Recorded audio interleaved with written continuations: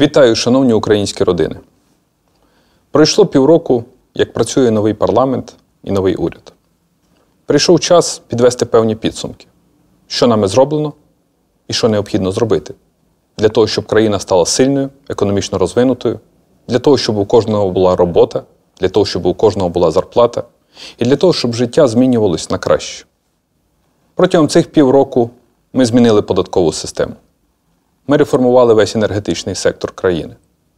Ми почали реальну боротьбу з корупцією і створили відповідні органи. Розпочались зміни в судовій системі, які треба далі продовжувати. Ми реформували всю фіскальну і бюджетну сферу.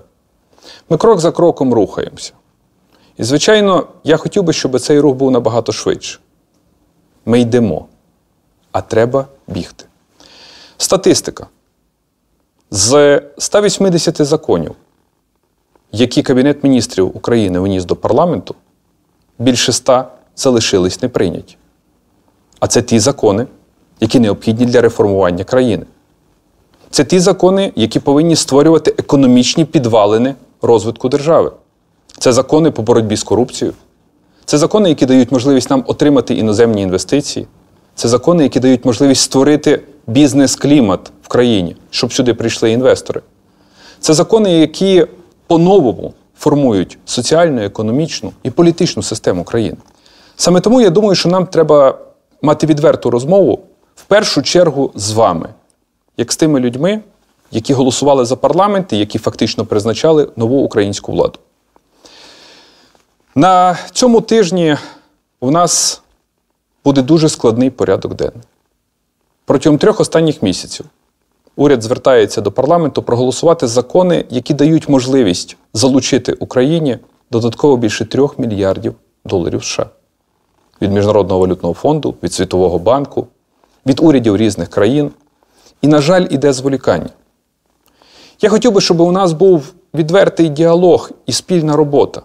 Тому що це не закони для уряду, це закони для країни. І уряд взяв на себе політичну відповідальність за реформи в державі. І так, що на наступний тиждень треба прийняти? Перше, це пакет законів, який дає можливість країні отримати 3,2 мільярда доларів США. Це ті мільярди доларів, які дають можливість стабілізувати економічну ситуацію в країні. Це ті мільярди доларів, які дають можливість мати стабільний валютообмінний курс.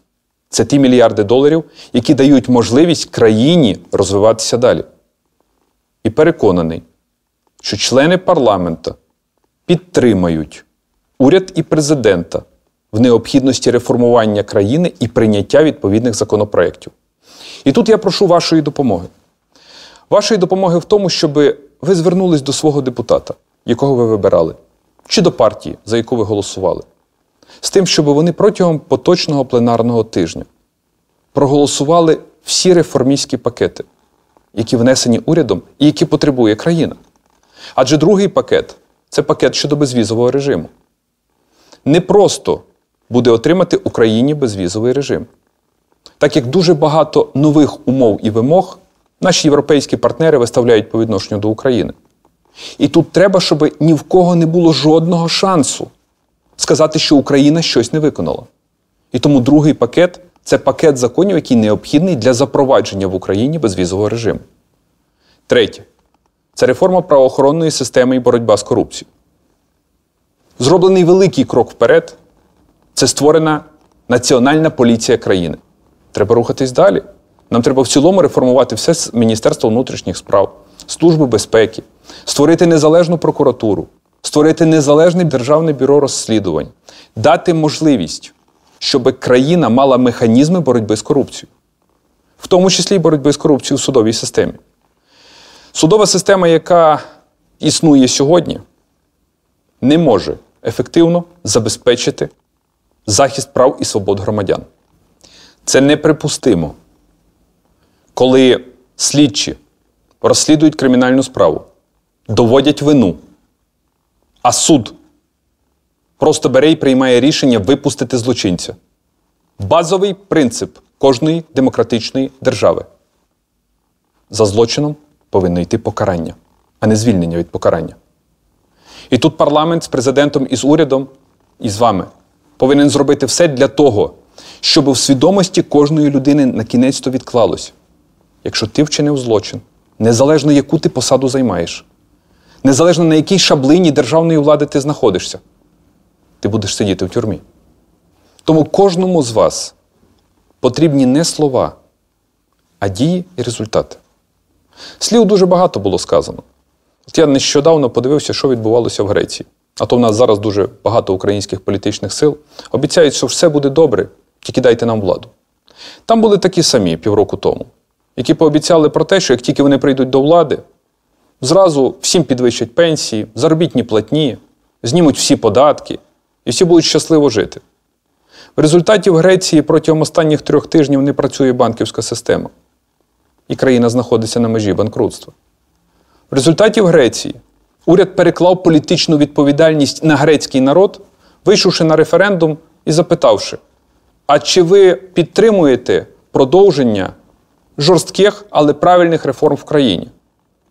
Народ сказав: ви знаєте, ви ж нам перед виборами обіцяли, що цих складних реформ не буде, тому ми проти них. І в результаті грецький уряд, всупереч своїм передвиборчим обіцянкам, і навіть всупереч рішення референдуму в парламенті проголосував за всі складні і необхідні реформи, які проводяться в Європейському Союзі, які проводяться в Греції, і для того, щоб отримати наступний транш допомоги. За інших обставин Греція буде повним банкрутом. Чому я розповідаю про Грецію? Це яскравий приклад. В політиці не можна брехати. Раніше чи пізніше приходить час, що за кожне слово треба відповідати. Тимчасові політичні рейтинги не вартують нічого в порівнянні з долею країни і з майбутнім всієї держави. І ми зараз повинні думати про майбутнє країни, як би не було складно сьогодні. Але завтра буде краще. І за це завтра треба боротися. Приведу вам приклад. Нещодавно був в Чорнобилі. Ну і там робітники Чорнобиля підійшли запитали просте питання: коли буде краще? Я кажу тоді, коли ми всі спільними зусиллями пройдемо ці складні періоди, і в країні дійсно почнеться економічний ріст, в країні буде правова держава, в країні кожен громадянин буде захищений, в країні буде все те, про що говорили рік тому на Майдані, і на що сподіваються мільйони українців. І ці прості люди мені чесно і відверто сказали: ми готові терпіти. Ми готові чекати. Це є ознака, наскільки український народ і українське суспільство зріле, наскільки воно здорове, наскільки воно розуміє, що єдиний шлях до того, щоб країна стала успішна, це коли кожен, підкреслюю, кожен буде робити свою частину роботи. І президент, і уряд, і парламент, який повинен прийняти всі закони. І сподіваюсь, що члени українського парламенту не підуть на канікули до того моменту, доки весь пакет законів, який необхідний для країни, не буде проголосований в Верховній Раді України. Вже завтра ми разом з урядовою делегацією відлітаємо до Вашингтона. Вперше в історії українсько-американських стосунків буде великий бізнес-форум, де провідні американські компанії хочуть прийти, почути про Україну побачити, що країна змінюється, і прийняти для себе рішення вкладати кошти в Україну для того, щоб створювати робочі місця для українців, збільшувати податки і робити українську економіку конкурентною і сильною. Після цього ми летимо до Канади. На кінець то Україна підпише угоду про зону вільної торгівлі між Україною і Канадою. Нам закрила Росія свій ринок для промислових товарів. Канада нам відкриє свій ринок для українського машинобудування і для українських індустріальних товарів. Після цього ми летимо до Лондона. В Лондоні ми також будемо говорити і про економічну, і про політичну підтримку з прем'єр-міністром Великобританії. Світ нас підтримує. Світ буде набагато сильніше нас підтримувати, якщо ми покажемо свою волю до змін. Ми довели всьому світу, як ми можемо боротися і перемагати. Втома і зневіра не про нас. Підемо відпочивати тоді, коли все зробимо для своєї країни. Тому вперед до роботи. і до наступних зустрічей.